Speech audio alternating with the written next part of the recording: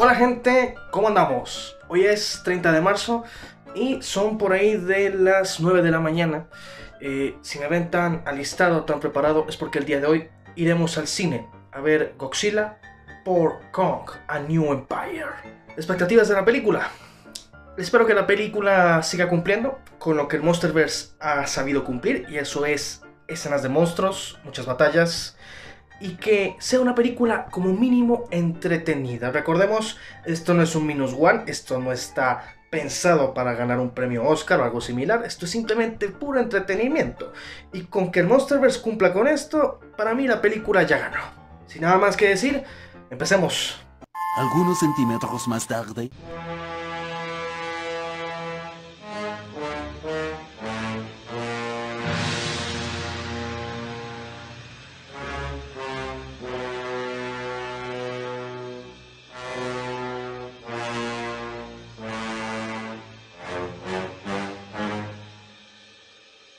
Deuda con la sociedad más tarde. Bueno, bueno, bueno, bueno. Ya vine de ver la película. Son por ahí de las... ¿Qué son exactamente? ¿Como las 9 de la noche? Son las 10 de la noche. Primeras impresiones. Es cine. No hay mejor manera de describirlo. Es absoluto cine. Pero no cine del mamador, sino del cine que se disfruta, el cine que es puro y mero entretenimiento sin importar tanto la historia, simplemente es vas al grano, ¿entienden? No. Quiero decir que con esta película, en cierta forma, la era Showa ha revivido. ¿Y quieren saber en qué momento exacto me percaté de que eso había pasado? Bueno, em, voy a hacerles un, un pequeño spoiler, uno chiquitito, no, no se preocupen, es, es algo mínimo, algo muy muy pequeño, muy concreto, eh, no es la gran cosa. Pero en el momento en el que me di cuenta de que la era Showa está viva nuevamente, fue cuando Godzilla le aplicó un suplex a Kong. Así es, Godzilla le aplicó un movimiento de, de lucha libre a Kong. ¿Saben qué otro Godzilla hacía eso? ¿Saben cuál otro Godzilla hacía eso? El de la era Showa. Y el de Final Wars también lo hacía. O sea, estamos en presencia nuevamente de un Godzilla que creo, sin ningún miedo a decir, está al nivel de los Godzillas japoneses y creo que supera algunos. Pero es algo maravilloso. O sea, cuando fui a ver la película estaba sonriendo constantemente. No sé por qué, la disfruté bastante. Incluso las partes de los humanos, que de, de, hecho tienen parte importante durante los primeros 30 minutos. Roban bastante cámara los humanos durante los primeros 30 minutos. Pero a partir de ahí pasas mucho tiempo con los monstruos, mucho tiempo. Eh, literalmente hicieron a los monstruos sumamente protagonistas. Adam Wingard, director de esta película, no vendió humo. Eh, no nos mintió cuando dijo que tendríamos muchas escenas de monstruos. Y es que en efecto tuvimos bastante, sobre todo por parte de Kong.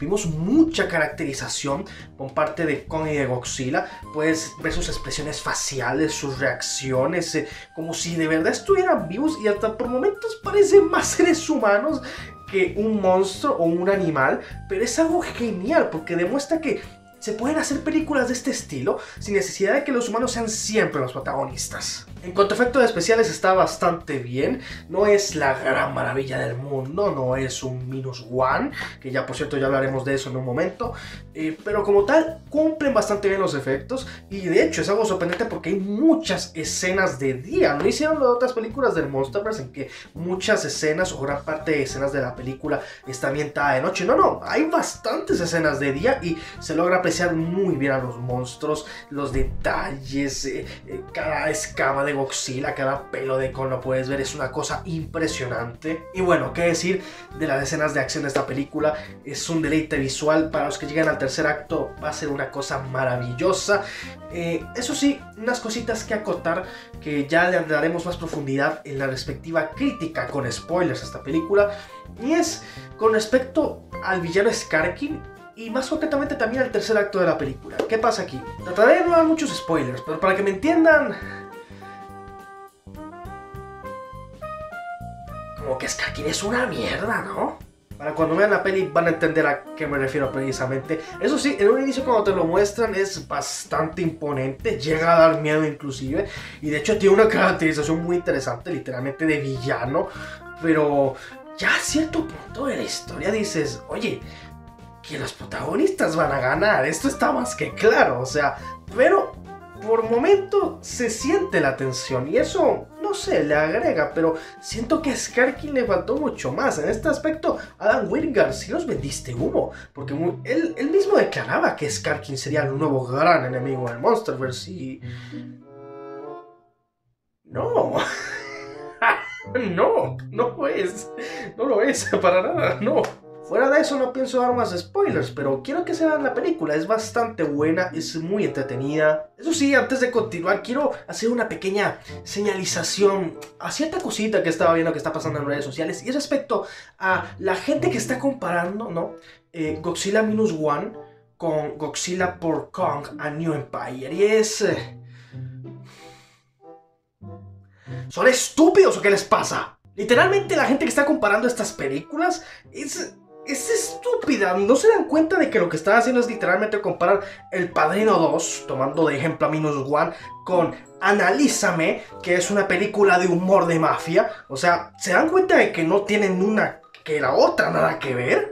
Parece ser que la gente aún no entiende que Godzilla puede ser explorada de múltiples formas. La gente tiene la idea de que, ah, no, es que Godzilla es la representación de la bomba atómica y solo puede ser representado como el terror y, y el villano y es... Bro, eh, ¿te has visto por lo menos las otras películas de Godzilla? Y no, ni siquiera te voy a decir si las has visto, no, te voy a decir siquiera acaso te has puesto a ver videos en YouTube al respecto, resúmenes en estos tiempos en los que la gente hace resúmenes de películas, ¿te has dado cuenta del enorme trayecto que tiene Godzilla? ¿Te das cuenta de que Godzilla puede ser explorado tanto de esta forma más seria y dramática hasta una forma un tanto más, eh, no diría humorística porque no es humorística, pero una forma un tanto más absurda, más loca, más de entretenimiento, más de mm, golpes, puño, oh, monstruo gigante, destruye edificio, ah, eh, o sea, ¿me entienden, no? Es como Pacific Rim. Yo no veo a la gente quejándose de que Pacific Rim sea eh, increíble en cuanto a entretenimiento y que sea solo robots dándose a madrazos con monstruos, ¿no? Porque la película desde un inicio te presenta esto.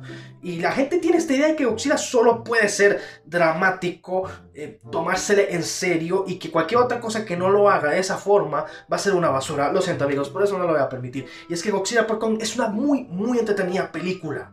Literalmente, vuelvo y repito, es la era show en su máxima expresión. Y no lo digo meramente por el hecho de que sea absurda o sea ridícula. No, no, lo digo más que nada por la trama loca, por las cosas impresionantes que hacen los kaijus y por las cosas que te muestran en la Tierra Hueca, que obviamente ya están muy lejos de aquel Monsterverse de Kong School Island que todos recordamos. Porque sí, no va a tomar en cuenta Godzilla 2014 porque esa película fue hecha mucho antes de la idea de que existiera un Monsterverse. Te voy a hacer una pregunta. ¿Te gustó Godzilla vs. Kong? Ok, si esa película te gustó, te va a encantar mucho más. Godzilla por Kong a New Empire. Porque toma lo mejor de Godzilla vs. Kong y lo aumenta. Tenés más tiempo en pantalla los monstruos, los tenés mucho más protagonistas, inclusive hay caracterización por parte de ellos, cosa que no habíamos visto en películas anteriores, más que menos guiños por ahí por allá, o en todo caso por parte de Kong nada más, pero literalmente casi todos los monstruos en esta película tienen una personalidad marcada, y eso es bastante importante a tomar en cuenta con esta película. Por favor, vayan a ver las cines, apóyenla, porque si esto es a lo que va el Monsterverse, yo quiero más, la verdad. O sea, lo están haciendo bastante bien. Pero sí, sin duda alguna, Godzilla por Kong a New Empire es una muy buena película. Es una de esas películas excelentes para pasar el rato, para divertirte, para ver simplemente a monstruos darse en la madre los unos a los otros, sin cuartel, sin piedad alguna. Pero como tal, es una película para divertirse, para entretenerse. ¿Te gusta ver monstruos? ¿Te gusta ver destrucción? ¿Te gusta ver peleas, luchas bien cabronas, verguizas bien cabronas? Pues esta película es todo lo que tú quieres en esta vida. Y sin nada más que decir, espero que estas primeras impresiones les hayan gustado. Traté de contener lo más que pude eh, la información y no dar muchos spoilers, ya que claramente le haré su respectiva crítica cuando ya hayan pasado ya unas semanas del estreno y ya la gente la haya podido ir a ver. Por favor, vayan a ver la película, apóyenla, es muy muy divertida. Si les han gustado las películas anteriores de Monsterverse y les está gustando el rumbo que está tomando el Monsterverse, esta película les va a encantar mucho más. Y por favor, no sean idiotas, no comparen Minus One con esta película, porque claramente sabemos a qué apunta Minus One. Trata de tener una mayor excelencia, trata de ser una película mucho más contenida, trata de apuntar a un estilo de película más serio, más dramático. Esta película no, Godzilla por con es todo lo contrario, es entretenimiento a full y diversión sin control. Es, no hay mejor manera de explicarlo, es de esa manera, por lo que por favor no sean estúpidos y no comparen las dos películas. Porque yo no agarro Shin Godzilla y la ando comparando con Godzilla vs Megalon. Sin nada más que decir, yo soy Mr. Tomamoto y aquí estaré yo, esperando hasta dónde llega el Monsterverse.